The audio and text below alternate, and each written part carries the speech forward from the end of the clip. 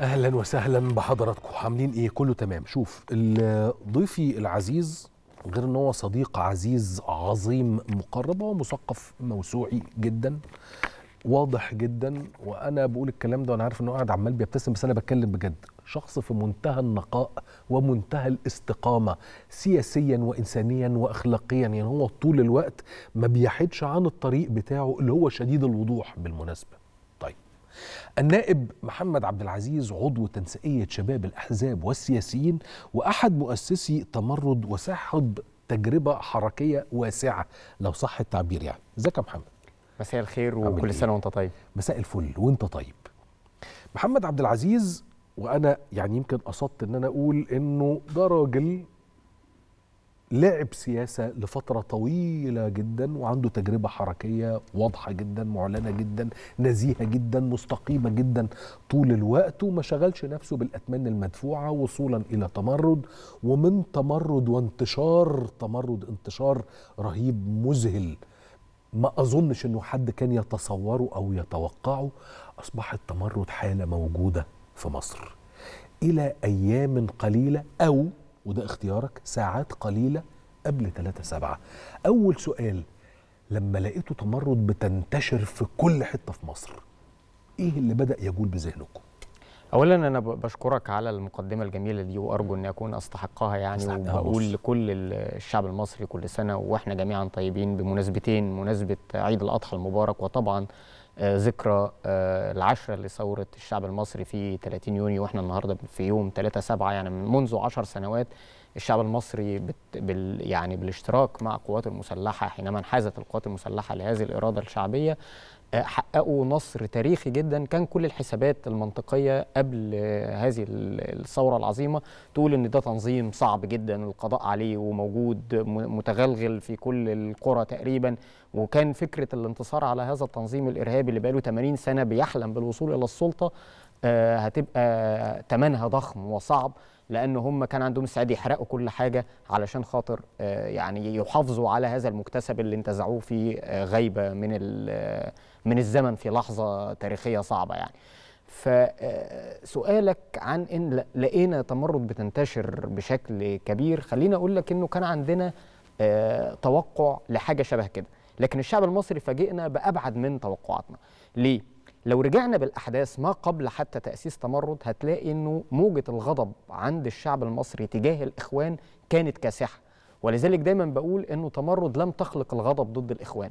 ويمكن الإخوان في طول الوقت في خطابهم بيحملوا تمرد المسؤولية وكأن هي اللي عملت الثورة. وده في تقديري. طبعا يعني شرف إحنا يعني إن نكون عملنا الثورة لكن الواقع إنه غضب الشعب المصري تجاه الإخوان غباء الإخوان في إدارتهم وتحديهم وعنجهيتهم لإرادة ال- الشعب المصري أنهم جعلوا الجماعة ليست جزء من المجتمع ولكن جعلوا الجماعة فوق المجتمع. حاولوا أن ي- يجعلوا الجماعة فوق المجتمع.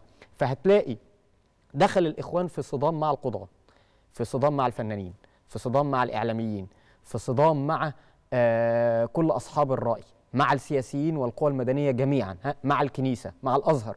لا يوجد مؤسسة في الدولة ما دخلوش في صدام معاه. أضف إلى ذلك إنه أصبحت الصدامات مع المواطن العادي اللي مش إخوان. ففي كل مصلحة حكومية في كل شارع في كل مكان بقى في كلام عن إحنا وأنتوا. إحنا آه هنعمل جايين نعلمكم. إحنا جايين نحكم 500 سنة. إحنا جايين نعلمكم الدين. أنتوا كلكم لازم تسمعوا كلامنا. في القرية المصرية شاف ال- ال- المواطن المصري لأنه في القرية يبان الأمور قوي يعني. الشخص الإخواني اللي فجأة آه، بنى البيت وأصبح بيستفيد من وجودهم في السلطة بدون أي نزاهة. وكل الكلام بقى عن إحنا بتوع ربنا وإحنا يعني جايين نحمل الخير لمصر ومشاركه لا مغالبة. وكل الكلام الجميل اللي كان بيتقال ده حينما أصبحوا في السلطة حدث عكس ذلك. ولذلك بمنتهى الوضوح كنا متوقعين حالة غضب كبيرة جدا من الإخوان من من قبل الشعب المصري الشعب المصري هيعبر عنها وتمرد كانت إصبع يشير إلى الطريق.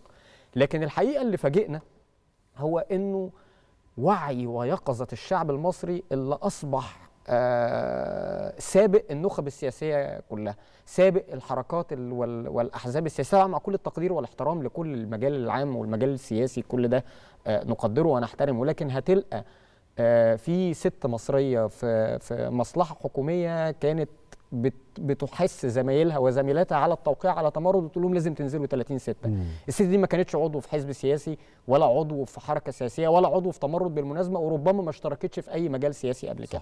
هتلقى راجل صاحب قهوة هتلاقيه حاطط يافطة في القهوة. هنا تجميع استمارات تمرد.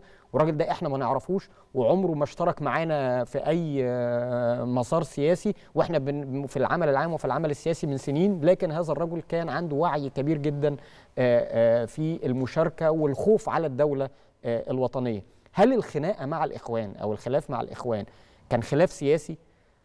لا. في تقديري يعني. الخلاف السياسي يؤخذ منه ويرد. يعني أنت كل الحكومات في العالم لا يوجد حكومة في العالم ما بتغلطش. ما الحكومات مش ملائكه ممكن تصوب للحكومة وتأخذ منها. طبعا. الخلاف مع الإخوان كان خلاف وطني وخوف على الدولة الوطنية من الانهيار. أنت بتتكلم عن مشروع اسمه مشروع الدولة الوطنية ومشروع اسمه مشروع الجماعة. ده أمر مختلف تماما. إيه الفرق بينهم؟ في الدولة الوطنية جميع المواطنين لهم نفس الحقوق وعليهم نفس الواجبات. في مشروع الجماعة الأول بتبدأ المسلمين غير الباقيين ثم المسلم اللي إخوان غير الباقيين. يعني هو في في في, في, في طبقة أعلى يعني. الأمر الثاني مشروع الدولة الوطنية بيقدر ويجل المؤسسات الوطنية للدولة. يعني الدولة قائمة على مؤسساتها الوطنية اللي هي بتنفذ سياسات الحكومة. الحقيقة إنه مشروع الجماعة هو تفكيك هذه المؤسسات الوطنية والدخول إلى مفاصل الدولة وأخوانتها وده أمر مختلف تماما. وشوف في في المنطقة حوالينا حينما هذه الجماعات المتطرفة حاولت أن تعبث بالدولة الوطنية شوف انهيار الدولة الوطنية عمل في المجتمعات إيه. وده نقدر نشوفه بشكل واضح جدا من ظهور الميليشيات الطائفية ثم هذه الميليشيات تحارب بعضها. يعني ممكن يبقوا هم كلهم بينتموا إلى تيار الإسلام السياسي إلا إنك تلاقي آه، آه، هذه الميليشيات لأن اللي بيمول هذه الميليشيا مختلف عن اللي بيمول هذه الميليشيا فت- فت- فتنهار الدولة وينهار الأمن وينهار المجتمع. ما كان يأخذنا به هذا الطريق كان طريق إلى آه، يعني أسوأ ما يمكن والدولة المصرية لأنها دولة كبيرة أول دولة في التاريخ يعني من علم العالم معنى الدولة أصلا. فكان صح. آه، فكرة نشأة الدولة نشأت في مصر في الدولة المصرية القديمة. ولذلك كان فكرة المخزون الحضاري اللي عند الشعب المصري هو اللي قدر يتماسك في مواجهة هذا التنظيم الإرهابي ويقول كلمته في الكارت الأحمر يوم آه، 30 يونيو. ويمكن في الأيام ما قبل 30 يونيو أنا أذكر لقاء تم بيننا وبين ال- الكاتب الكبير الأستاذ محمد حسنين هيكل. كنت عارف يعني إيه أنا بالنسبة لنا الأستاذ هيكل كان فكرة حلم إنك تشوفه من بعيد كده. ففكرة إنه يكلمنا مكتبه إن الأستاذ هيكل يريد أن يلتقي بيكم. فنروح نقابله فنتكلم حوالين إيه اللي ممكن يحصل لو الناس نزلت وما حصلش آه، ويعني الإخوان كتنظيم إرهابي تحدى إرادة الناس. فكان ردنا وكان يعني كان ردي على هذا السؤال إنه لا يمكن أن يحدث انتصار على الإخوان إلا بإنه إذا كان إرادة الشعب واضحة في مواجهة هذا التنظيم إن القوات المسلحة يجب في هذه اللحظة إنها آه، تنحاز إلى إرادة آه، الشعب المصري. وهذا الأمر في تقديرنا استكمال للدور الوطني للقوات المسلحة ليس تدخلا منها في السياسة ولكن حفاظها على الدولة الوطنية ومقدراتها. وده دور أساسي ورئيسي للقوات المسلحة. وهي كانت بتلعبه تاريخيا يعني. طول العمر القوات المسلحة منحازة للإرادة الوطنية لل- ل- للشعب المصري وطول عمرها تحمي محددات الأمن القومي للدولة الوطنية. لم يكن أحد يسمح أن تنجر مصر إلى حرب أهلية أو نشوف المصريين بيقتلوا بعض في الشارع آه، بسبب ميليشيات إرهابية شايلة السلاح وبتهدد الدولة الوطنية والجيش المصري. ده أمر لا يقبله أحد ولا يقبله القوات المسلحة المصرية ولا يقبله الشعب المصري. ولذلك كان بيان 3 7 آه، ترجمة لإرادة المصريين اللي بد- بدت بشكل واضح في الميادين في 30 يونيو من اسكندرية لأسوان من آه، من من كل الشوارع ال- الرئيسية والفرعية. إحنا كنا تشوف المظاهرة ما تعرفش أولها من آخرها. تبقى موجود سواء كنت أمام الاتحادية أو في ميدان التحرير. لا تستطيع أن ترى ال- المتظاهرين آلاف الآلاف ال- من المصريين في كل مكان بتتكلم عن ملايين تجاوزوا وفقا لوصف السي ان ان في الوقت ده إن هو أكبر حشد بشري آه، في التاريخ صحيح. ما شفتش آه، عدد ت- ت- 33 مليون من اسكندرية لاسوان موجودين في كل آه، المحافظات في كل العواصم الرئيسية للمحافظات فهذا المشهد بيقول إنه لا يوجد أحد يستطيع إنه يهزم إرادة الشعب المصري. والشعب المصري دايما يصنع المعجزات. حتى لما أنت تعتقد إنك انتصرت عليه أو قدرت إنك تنتصر عليه تلاقي دايما في آه، مفاجأة تاريخية. وارجع بالتاريخ كده. الهكسوس حكموا مصر قد إيه؟ لكن تلقى في قائد شجاع اسمه احمس استطاع إنه آه، آه،. يهزم الهكسوس بالحسابات المنطقية إنه الجيش ما كانش موجود في الوقت ده والهكسوس مسيطرين وعندهم العجلات الحربية وكل الكلام ده إلا إنه المصريين ينتصروا على الهكسوس. شوف أنت بعد كده آه، خطر ال ال التتار فتلقى انه الجيش المصري لما يروح يقفل عليهم في عين جالوت ويمنعهم من دخول مصر ثم يمنعهم من استكمال آه، مذابحهم وينتهي اثرهم في التاريخ آه، تلقى انه ال- الشعب المصري والجيش وقتها استطاع إنه هزيمة التتار. كل الحسابات المنطقية بعد نكسه 67 كانت تقول الجيش الذي لا يقهر ده عملوا خط بارليف ده مستحيل إلا إنه عظمة العسكرية المصرية وعظمة الجندي المصري وعظمة الضابط المصري جابتهم الأرض. جابتهم الأرض بفكرة إبداعية بخرطوم مية. أنت كل الحسابات المنطقية كانت تقول لك مستحيل الحسابات العسكرية تقول لك صعب جدا لكن ال- المصري ما بيغلبش. صح. فأنت زي ما بورقة وكارت أحمر استطعت إنك تهزم هذا التنظيم الإرهابي. أنت قبل كده بتخطيط عسكري جيد وبوساله وبطولة في حرب 73 وخرطوم مية. خلصت من خط بارليف وفتحت الباب للعبور وسجلت آه انتصار تاريخي. انتصار 30 يونيو لا يقل ابدا عن معجزات الشعب المصري من بناء الهرم وطرد الهكسوس وهزيمة التتار وهزيمة ال ال ال آه، وانتصار 73 ثم آه، انتصارنا في 3 يوليو اللي إحنا بنحتفل بذكراه منذ 10 سنوات آه، حينما خرج القائد العام للقوات المسلحة يقول بالضبط الدور التاريخي للقوات المسلحة وانحيازها الدائم لل- للشعب المصري بأنه مصر ولادة زي ما جابت عظماء عبر التاريخ آه، آه، آه، في هذا التوقيت ربنا رزقنا بالقائد العام للقوات المسلحة الذي انحاز لإرادة الشعب المصري الفريق أول عبد الفتاح السيسي الذي اتخذ قرار تاريخي هذا القرار وهو قال لنا يوم 3 يوليو قال إن هذا القرار آه، المصيري سيتحمل نتيجته أنا وأبنائي في الجيش وولادي في الشرطة بس إحنا هنتحمل بصدورنا علشان نحمي إرادة المصريين وشفنا ده في كم الشهداء طبعاً. الذين آه، يعني دفعوا ثمنهم حماية لهذه الدولة الوطنية حماية لهذا الشعب المصري العظيم آه، آه، لا يتحكم في مصر تنظيم إرهابي يرفع علم داعش ولا القاعدة ولا أي حاجة على أي نقطة من من من أي شبر في مصر. ما مكنهمش من هذا الأمر. بس الكلام ده ما اتعملش بس- بسهولة. الكلام ده اتعمل بدم وتضحيات وبفلوس. لأنه مليارات اتدفعت في مكافحة الإرهاب مليارات طبعاً. اتدفعت في آه، آه، الحفاظ على الأمن القومي والدولة الوطنية. طب ده ده ده يخليني هسأل يا محمد على الكام يوم ما بين 30 6 ليوم البيان في 3 7 إيه اللي كان بيجول في خواطركم؟ وتحديدا محمد عبد العزيز إنه أصل لو ما كانش البيان ده اتعمل ربنا يديلك الصحة وطولة العمر ما كناش هنبقى قاعدين هو دلوقتي. أنا قلت في, في وقتها يعني قبلها في زمايلي مؤسسين تمرد إنه إحنا لما أطلقنا حركة تمرد في 28 إبريل 2013 في رصاصة طلعت. الرصاصة دي هتيجي في صدر الإخوان يا هتيجي في صدرنا. مم. إحنا ما عندناش حل إما أن ننتصر وإما إن هيقتلونا الإخوان مش هيسيبونا. طبعا. وده أمر مفهوم. صحيح.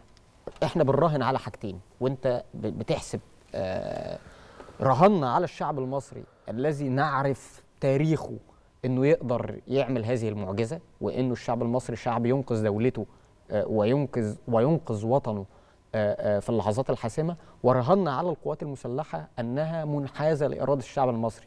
والحقيقة رهنا طلع صح. الشعب المصري في 30 يونيو عمل معجزة بهذا المشهد العظيم. القوات المسلحة في 3 يوليو انحازت لإرادة الشعب المصري. من 30 يونيو ل 3 يوليو. ماذا كان يجول في خاطري؟ كنت آه، منتظر بشدة. إمتى هتأتي الإشارة للاستجابه من القوات المسلحة؟ في إشارة أولى. لما أطلقت القوات المسلحة أول بيان وقالت إنها بتمهل الجميع 48 ساعة. إحنا فهمنا هذه الرسالة معناها إنه القوات المسلحة منحازة لإرادة الشعب المصري وإنه آه، تمهل الجميع لتحقيق مطالب الشعب المشروعه ومطالب الشعب كانت واضحة. في هذا الوقت كان الإخوان بيستخدموا هذا الخطاب أو هذا البيان يعني في إنه دي رسالة إلى المعارضين. وأنا هنا بعد كل هذه السنين بعد عشر سنين فعلا فشلت في إني أصل إلى آه، تحليل ليه الاخوان بيقولوا كده. هل لأنه هم كانوا فاهمين إنه هذه الرسالة موجهة إليهم آه، وإن القوات المسلحة منحازة لإرادة الشعب ولكن هم كان عندهم حالة إنكار وبيستعبطوا وبي- وبيضللوا أنصارهم؟ هل كان في عملية تضليل لأنصارهم وهم عارفين إن القوات المسلحة مش معاهم؟ ولا هم كانوا بهذا الكم من الغباء والسطحية والسذاجة آه، اللي تخليهم معتقدين أنهم قادرين على جعل المؤسسة العسكرية جعل القوات المسلحة المصرية آه، تتخذ موقف عكس تاريخها اللي منحاز طول الوقت للوطنية هو المصرية. أظن صححني لو أنا غلطان غباء وصلف. وارد غباء. زائد صلف صور لهم إنه الجيش ممكن يتراجع وما ياخدش خطوة. آه. وكان في أمر آخر. أنا في اعتقادي يعني إنه كان في رهان على الخارج. هم كانوا فاتحين قنوات اتصال مع دول أجنبية. كان عصام وكان- الحداد ومجموعته عصام. الحداد كان بي بيقوم باتصالات موسعة مع آه الأمريكان ومع الأوروبيين وغيرهم. وكان بيقول لهم بيبيع لهم نظرية إنه إذا الإخوان وقعوا في مصر فده هيهدد المصالح ال- الأمريكية والشعب. وهيحصل آه فوضى عارمة. إلا إنه إرادة المصريين كانت واضحة ولا يمكن لأحد تجاهلها وخد بالك. أنا تقديري يعني ال- الشعب المصري هو اللي فرض على الجميع بما فيه القوى الدولية آه، المشهد آه، بتاع 3 يوليو. لا ي... لم يكن أحد يستطيع أن يقف ضد هذه الإرادة. ولذلك ال- ال- ال- اللي إحنا بنقوله إنه مهما اعتقد أي حد إنه يقدر يهزم إرادة الشعب المصري فاعتقادي هو واهم. آه، وأكبر دليل على كلامي كل التحالفات الدولية في فترة من الفترات كانت في صف الإخوان. كانت في, طبعا. لكن بان إنه لا يمكن كسر إرادة الشعب المصري. وافتكر برضه في 73 كل التحالفات كانت في صف صحيح. العدو ما كانتش في صفك. آه. التحالفات الدولية. لكن أنت فرضت على الأرض ما لم تستطع آه، آه، السياسة الدولية أن تتجاهله. فرضتها في 73 وفرضتها في 30 يونيو. وده مش يعني مش بقول الكلام ده مجازا أنا بقول ده واقع.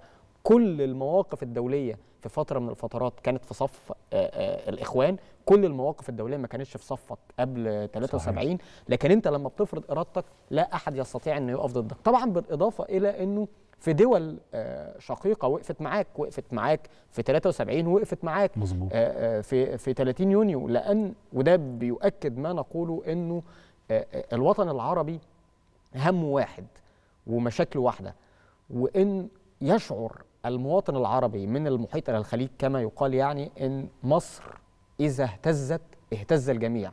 لا يمكن للعرب أن تقوم لهم قائمة إلا ومصر قوية. ومصر لها دور رائد ومركزي ورئيسي.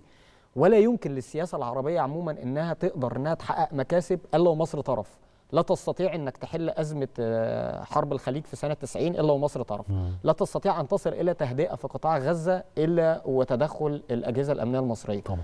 لا تستطيع إنك تعمل إجلاء للرعاية في أزمة السودان بكل دول العالم يلجأ لمصر علشان خاطر هي اللي عندها المعلومات وتقدر هي اللي تعمل عمليات الإجلاء وبنشوف سفارات أجنبية إزاي بتطلع شكر للدولة المصرية على مساهمتها في عملية صح. الإجلاء وده حصل من دول كبيرة في العالم يعني دول المفروض إنها بتمتلك أجهزة أمنية ضخمة و- بريطانيا على سبيل المثال يعني بتكلم على أكبر آه. دول العالم ألمانيا اتكلمت في ده بريطانيا صحيح. اتكلمت في ده الت- التواصل مع الدولة المصرية الدولة القوية هي اللي تقدر تحفظ الأمن آه، آه، الإقليمي والسلام العالمي. ولذلك آه، يعني اللي بقوله إنه يشعر الجميع بأهمية الدور المصري. والنهاردة بنشوف بعد عشر سنين إزاي مصر ليها دور واسع في المحافل الدولية في كل القضايا تقريبا. مم. من أول القضايا المتعلقة بالسياسة ال- الدولية إلى حتى القضايا المتعلقة بالمناخ وال- والاستثمار وغيره.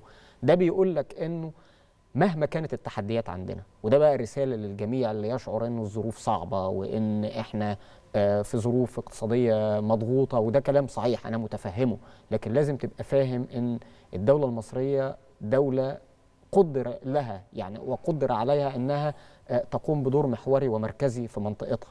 الأمر الثاني إنه مهما كانت التحديات دي مش زي التحديات اللي أنا حكيتها ما هيش زي نكسة 67 لا قدر الله ولا هي زي نكسة آه، انهيار الدول اللي حصلت حوالينا لكن التحديات مهما كانت صعبة أنت عملت ما هو أصعب منها قبل كده وقدرت صح. تنتصر عليها وحتى لو كانت التحديات دي عمرها سنوات معينة نتيجة لأزمة كورونا نتيجة للحرب الروسية الأوكرانية نتيجة حتى لاي أزمات داخلية ليها علاقة بالظروف الاقتصادية إلا إنك قادر كشعب مصري وقادر كدولة مصرية على مدى ما هواش بعيد إنك تنتصر على هذه التحديات زي ما حققت انتصارات عبر تاريخك ولذلك على المدى المتوسط ومش بقول لك البعيد يعني من القصير للمتوسط أنا متفائل وإن شاء الله دايما مصر هتقدر إنها تكون في الموعد آه، وفي المكانة التي تستحقه عبر تاريخها يا أخي وده خروجا عن المتعارف عليه في في الفقرة وفي البرنامج حقيقه يا محمد أنا كل يوم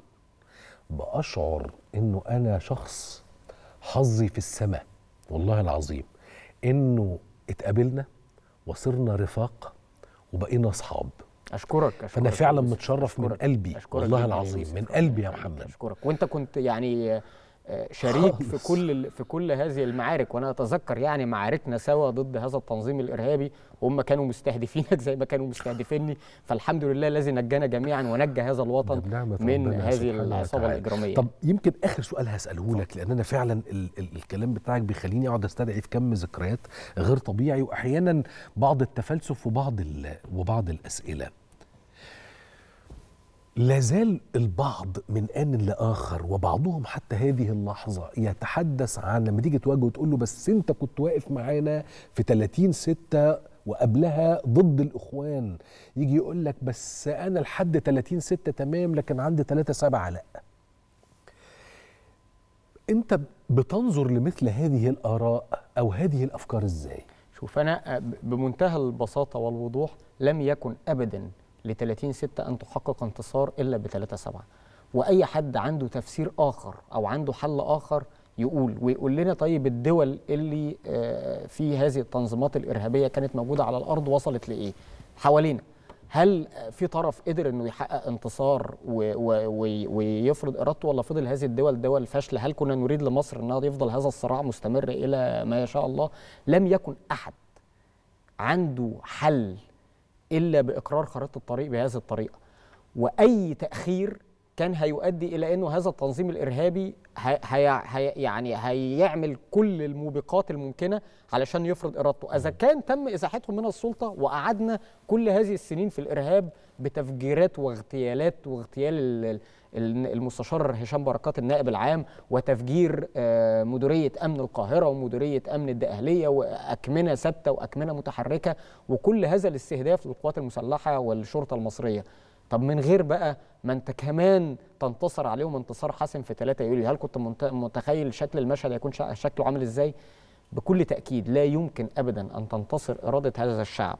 في مواجهة هذا التنظيم الإرهابي إلا بقوة رئيسية تقف في ظهرك وهي القوات المسلحة. وأي حد عنده معركة وأي حد عنده يعني. وأي حد عنده تحليل آخر يقول لنا يعني يقول لنا كيف يمكن أن تنتصر على تنظيم مسلح ميليشيا إرهابية. هذه الميليشيا معاها سلاح وعندها تحالفات مع كل التنظيمات الإرهابية في العالم. من غير وجود القوات المسلحة كطرف ده كان هيحل ال- الموضوع إزاي. فبذلك ده يعني جملة عبثية جدا. اللي يعتقد إنه آه، 30 يونيو كانت قادرة على إنها تنتصر وحدها دون أن تكملها 3 7 يعني كلام آه، ولا حتى في المدينة الفاضلة. يعني على أساس إن الإخوان هنقول لهم أنتوا أخطأتوا في السلطة فهيسيبوا لنا السلطة على الباب ويجروا. ما هو آه، لا. هيفضلوا يقاتلوا ويق- ويقتلوا كل من يقف في مواجهتهم دون أن يكون في حد يفرملهم ويقول لهم لا إرادة المصريين مش كده. يعني سياسيا و و و و و و ومفكرا بالمناسبة وعضوا حركيا بالمناسبة ودي حقيقة وبالمناسبة كلمة حركي دي حاجة شرف مهم لما طبعا. بتكون بتشتغل لأجل هذا الوطن ولأجل مقدراته طول الوقت محمد عبد العزيز تاني هقول لك أنا حقيقي متشرف. جدا أشكرك. بأنه يعني آه، في حياتي أصبحنا أصدقاء مش عارف لو ما كنتش قابلتك وقابلت ناس كتير في المشوار ده كان ممكن أفتخر قدام ولادي بإيه يعني؟ أشكرك أنا بكلمك بأمانة. شركاء في هذه المعركة. كل مصر الحقيقة كانت شركاء في الوقوف قدام الناس دي. أنا بشكرك جدا شكراً محمد. عبد العزيز النائب بعضو النائب بمجلس النواب المصري عن تنسيقية شباب الأحزاب والسياسيين أحد مؤسسي تمرد وأحد الناس اللي وقفت علشان خاطر البلد دي. مش بس من عشر سنين لكن أقدر أقول لك يجي من أكتر من 23 سنة وهو مصر. وزي ما كنت بقول في المقدمة هو عنده استقامة وطنية وفكرية وسياسية ولا يحيد عنها على الإطلاق. سياسي مستقيم ودي حاجة مهمة جدا. أشكرك مرة تانية يا محمد نورت وشرفت. واستأذنكم هنطلع فاصل وبعد الفاصل بقى نلتقي بمولانا فضيلة الدكتور أحمد كريمة أستاذ الفقه المقارن بجامعة الأزهر استنوني.